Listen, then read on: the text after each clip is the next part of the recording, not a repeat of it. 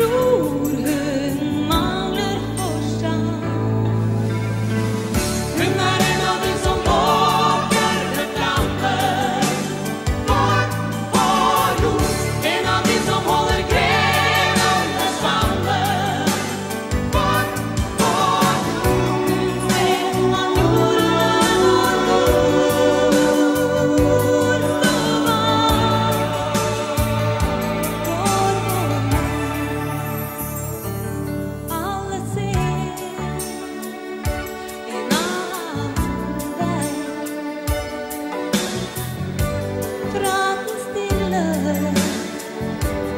it